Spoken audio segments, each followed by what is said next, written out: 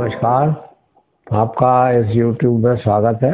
मैं प्रोफेसर भैया हूँ और मेरा वेबसाइट भी चलता है यू के अथैया डॉट कॉम के नाम से U K A T H E Y A dot com तो उसमें भी काफ़ी डेयरी से संबंधित, कुत्तों से संबंधित और बकरी से संबंधित है। तो आप पशुधन के बारे में जो भी जानना चाहते हैं, वहाँ से जान सकते हैं। पर मेरा ये पचास साल का डेयरी में अनुभव यही है कि जब पहले जो था, वो दूध की कीमत पचास पैसे थी। सन साठ की बात बता रहा हूँ मैं आपको।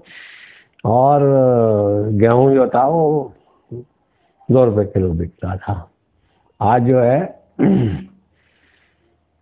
आज जो है क्या हो गया? आज दूध तो चालीस पचास रुपए, और गेहूँ बीस रुपए किलो हम्म। तो इसके साथ साथ कृषि का यांत्रिकरण होने की वजह से और मिल्क का मार्केट खोलने की वजह से मतलब डेयरी में बहुत सारी संभावना है और मतलब ऐसी भी गायें हैं जो 40 लीटर 50 लीटर दूध देने की क्षमता रखती है और लोग रख रहे हैं उन्हें तो इसमें सबसे, जो महत्व की बात है वो यही है कि आप जो है वो अच्छी गाय उत्पन्न करिए। दूध तो बाई प्रोडक्ट है। हम्म। अगर आप मतलब ऐसा कर रहे हैं कि गाय ले आए फिर दूध बेच दिया फिर गाय ले आए तो वो आपका सिस्टम काम नहीं करेगा। यदि अगर अच्छा सीमेंट आजकल बछिया पैदा करने वाला सीमेंट उपलब्ध है और अगर आप इसमें कदम करवादान खुद ही करने लगते हैं तो आपको बहुत लाभ होगा। क्योंकि होता ऐसा है आप गाय तो ले आए। अब उसके बाद वो जब गर्म होगी तो आप बुलाएँगे किसी को। अब वो आदमी जो है, वो तीन सौ रुपये दो सौ रुपये में यही कर देता है।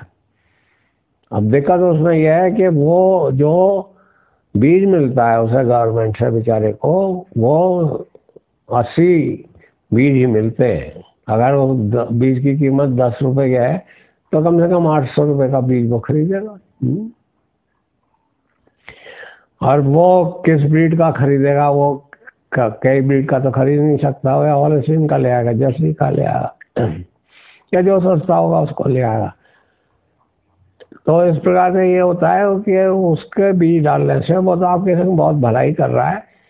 तो आपकी जो, जैसा आप जानवर लाए हैं, उससे घटिया जानवर पैदा हो जाएगा आपके। सॉरी और ऐसा है कि अगर आप आजकल बचिया पैदा करने वाला बीज उत्पन्न करते हैं तो आपको बहुत और अधिक लाभ होगा। मैं यूनिवर्सिटी फार्म पे डायरेक्टर था तो वहाँ पे मतलब एक बच्चा रोज ही पैदा होता था। तो हर तीन महीने बाद मतलब जो कम से कम डेढ़ सौ, दो सौ बच्चे जो थे, वो नर होते थे, वो ऑप्शन कर दिए जाते थे तो मुझे बड़ा दुख होता था, क्योंकि वो तो उनको खाल में ही यूज़ करते हैं, जो ले जाते हैं। तो अब ऐसी ऐसी समस्या नहीं है। अब मतलब मैं आज ही देख रहा था कि हर एक देसी ब्रीड का और भैंस का और विलायती बीज का सेक्स सीमन मिल रहा है। तो ये एक बड़ा क्रांतिकारी कदम है। और अगर आप खुद ही यही कर सकते हैं ये कोई ऐसी विशेष बात नहीं है। तो आप बहुत धन भी अर्जित कर सकते हैं और अपने अच्छे जानवर भी उत्पन्न कर सकते हैं। वैसे आप अगर सिलेंडर रख लें और बीज रख लें तो आपका जो पशु चिकित्सक है या जो एलियो है, क्या कहते हैं उसे? लाइव स्टॉक एक्सटेंशन ऑफिसर वो कर देगा यही, पर बीज रखना आपको बड़ा आवश्यक है, अगर आप डेयरी चलाना चाहते मैं, देखिए, इसमें आपको ये बता रहा हूँ कि आप ए करना कैसे सीख सकते हैं? मैंने पहले भी बताया था कि जो बच्चेदानी होती है, वो इस तरह से बाई कॉर्नोइड होती है, वो और बच्चा जो है, वो यहाँ पे डेवलप होता है, इस जगह। ये तो गाय का है, ये शीप का है, ये सुअर का है तो मैं इसमें बता रहा हूँ कि बच्चा जो है, यहाँ डेवलप होता है, यहाँ से बीज डाला जाता है। बीज यहाँ से चल के आता है इधर यहाँ इस नलका में वो भी रख करते हैं और यहाँ से अंडा आता है। यहाँ पे बच्चा जो है फर्टिलाइजेशन से बनता है। हम्म। तो उसके बाद वो यहाँ आ जाता है इस जगह फिर वो डेवलप होता है।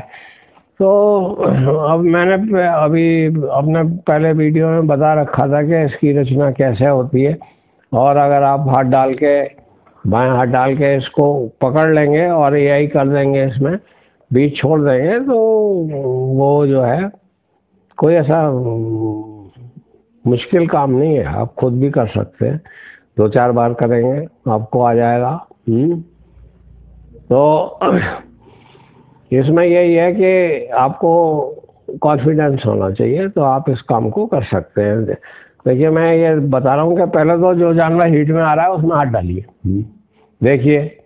बच्चे जाएँगे मेरे और वीडियो देख लीजिए, उसमें आपको इसकी रचना और वो मैंने बता रखा है उसमें। फिर मैं आपको ये बता रहा हूँ कि जब उसमें दो महीने की प्रेगनेंसी हो जाती है, और आपके डॉक्टर साहब या कंपाउंडर साहब जो भी हैं, वो आपको बता देते हैं कि इसमें साठ दिन की तो आप उसमें धीरे से हाथ डाल के और उसमें देखिए। अपने नाखून काट लीजिए देखिए, शुरू शुरू में ज़्यादा ग्लव्स मत पड़ेगी क्योंकि ग्लव्स पहनने से ये होता है कि आपको सेंसेशन पूरा नहीं होगा। आप अच्छा शैम्पू रखिए, किसी चीज़ को पकड़िए मत। बस ऐसे चला के आप देख लेंगे कि ये फुटबॉल सी है तो इसका मतलब दो महीने की प्रेगनेंसी है। जो जो उसने बता दिया, आप आप उसको देख लीजिए। तो पशु में हाथ डालना बड़ा ज़रूरी है। धीरे से लुब्रिकेंट लगा के गोले का तेल या शैम्पू आप डालिए और मतलब ये देखने की कोशिश करिए, जिसको उसने बता दिया तो आप उसको देखते रहिए। ये जो देखिए, छह महीने पे क्या होता है, ये तो पहले में ही रहता है, यहाँ पे छह महीने पे ये नीचे चला जाता है, काफ़ी नीचे चला जाता है। और आपको काफ़ी लंबा हाथ डालना पड़ेगा हम्म। और कभी कभी लोग इसकी जाँच भी नहीं कर पाते, पर आपको अगर अंदाज हो जाएगा तो आप इसको कर सकते हैं। मतलब ये बार बार हाथ डालेंगे आप, छह महीने के ग्यावन जानवर में तो आपको पता चल जाएगा। मतलब कोई ऐसी बड़ी बात नहीं है। हम्म। एक ही जानवर में धीरे से ऑयल लगा के हाथ में और धीरे से डाल दीजिए क्योंकि ये सुविधा गाय और घोड़े में ही है। बकरी में, आदमी में, आप इसको अल्ट्रासाउंड से करेंगे। हम्म। अब देखिए, ये मैं दिखा रहा हूँ आपको कि ये जो है ये मैंने आपको दिखाया यहाँ पे कि ये नीचे चला जाता है काफ़ी।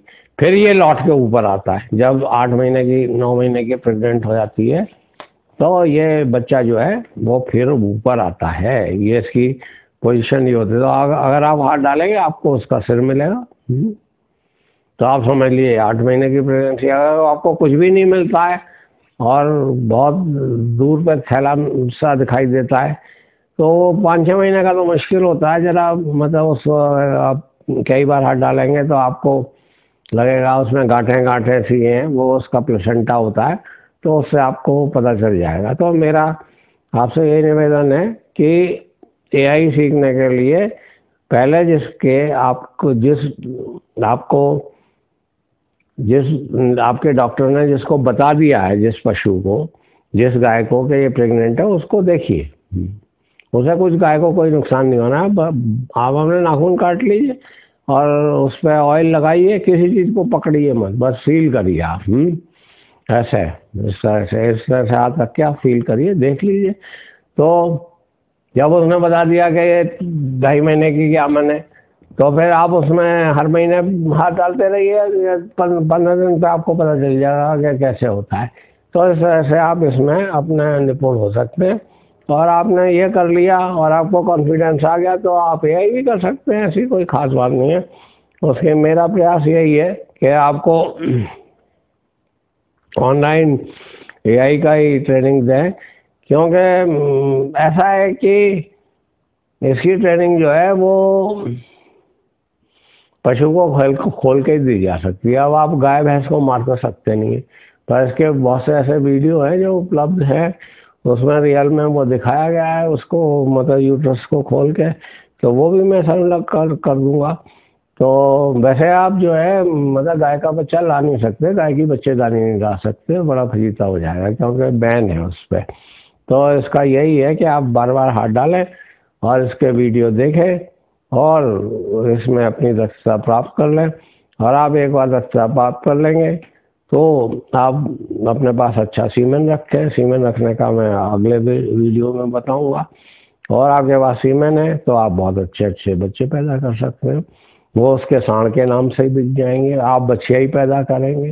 देखिए, ऐसा है ना कि अगर आपके पास दस गाय हैं तो आपको एक साल में तीन ही बच्चे मिलेंगे। तीन तो नर हो जाएँगे छह सात बच्चे होंगे। हम्म। और अगर आप बच्चे ही पैदा करने वाला बीज डालते हैं तो आपको छह सात मिल जाएँगे। हम्म। और आपको दो साल में, क्या कहते हैं, दस गाय में से बारह बच्चे मिल जाएँगे। और फिर जो है, वो भी बच्चे देंगे तो उसे बड़ी तेज़ी से प्रोग्रेस हो जाती है। अगर आप जर्सी पाल लेंगे तो बहुत अच्छा है। तो मैं ये इसी के साथ अपनी वार्ता समाप्त करता हूँ। मैंने आपको यही बताया कि बच्चेदानी को देख लीजिए और खाली बच्चेदानी को देखिए, कई बार हाथ डाल कर देखिए उसमें। और जब वो दो महीने की यामन हो जाती है, तब उसमें हाथ डालिए। और जब छह महीने की यामन हो जाती है, तब आप उसमें हाथ डालिए। और जब वो आठ महीने की यामन रहती है, सात आठ महीने की, तब हाथ डालिए। कई बार हाथ डालिए, कोई नुकसान नहीं होता। हम्म। ये तो बड़ी सुविधा है कि इसमें आपको वो नहीं करना पड़ता, अल्ट्रासाउंड वगैरह। आप वैसे ही कर सकते हम्म?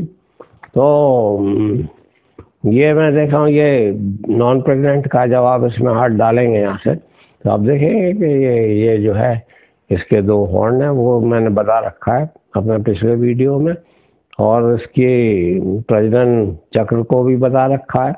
आप मेरे, इसको यूट्यूब को देखते रहिए, और मेरा वेबसाइट भी है कॉम आशा कर रहा हूँ कि आप ये विद्या सीख लेंगे। इसमें कोई ऐसी डॉक्टरी की बात नहीं है। ये तो अमेरिका या वगैरह में कुछ जाते हैं डू इट योर सेल्फ मतलब D Y do it yourself D T Y कहते हैं कि आप अपने आप ही करिए इसको। हम्म। तो इसी के साथ मैं अपनी वार्ता समाप्त करता हूँ। और इस सबसे आपका ये साहस बनेगा कि आप कृत्रिम दान में वो दक्षता प्राप्त कर लें। आप अपने हाथ से एक बार बच्चा पैदा कर लेंगे ना तो आप दुनिया भर को बताते फिरेंगे कि ये तो अब मैंने बच्चा पैदा किया है। और फिर आपको बहुत उत्साह हो जाएगा। पर बात यही है कि आप बार बार उसमें हाथ डालिए और मेरे वीडियोस को देखिए, आपको बहुत लाभ होगा। और आप जब बच्चा पैदा करेंगे तो दूध अपने आप पैदा कर देंगे अगर आप हर बार गाय नहीं खरीद के ला रहे हैं पुरानी गाय बिक नहीं रही है तो उससे तो डेरी नहीं चलेगी। ये सीखना बहुत आवश्यक है और आपके डॉक्टर साहब और आपके कंपाउंडर साहब इसमें हेल्प कर देंगे आपकी। हम्म और वो जो वेटनरी में जो फोर्थ क्लास स्टाफ होते हैं, वो लोग वो लोग भी करने लगते हैं, बहुत से पशुपालक भी करने लगते हैं और ट्रेनिंग भी होती है इसकी। परंतु ऐसा है कि ट्रेनिंग के लिए पशुपालक को जाना बहुत मुश्किल है। हम्म। क्योंकि वो तीन महीने, दो महीने की ट्रेनिंग कैसे करेगा? उसका तो भट्टा बैठ जाएगा, उसकी डेयरी कौन देखेगा? इसीलिए मेरा प्रयास यही है कि ऑनलाइन आपके लिए ये बना दूँ और आप इसी से ऑनलाइन से इसको देखते रहे। आपने इसको सुना, बहुत धन्यवाद। और आपकी प्रगति हो। आप दूध तो पैदा करें, पर अति उत्तम गाय भी पैदा करें। क्योंकि लोग आकर साहब गाय बिकती नहीं। अगर आपके पास अच्छी गाय है तीस लीटर, चालीस लीटर दूध देने वाली तो आप लोग आप भागे भागे आएँगे, आपसे ले जाएँगे फ़ौरन हम्म? वो बुल के नाम से बिकती हैं हम्म? जैसे उसमें जर्सी का है के बी एस का, टाइसन बुल है आप कहते हैं, टाइसन का बच्चा है तो वो ले जाएँगे हम्म? तो इसमें बहुत संभावना है और हमारे यहाँ मौसम ऐसा रहता है कि दाना वो मौसम बहुत अच्छा है तो उसमें इन गायों को आप रख सकते हैं। धन्यवाद, आपने सुना।